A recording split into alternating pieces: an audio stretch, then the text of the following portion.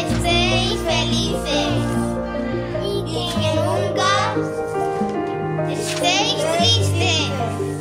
Os queremos.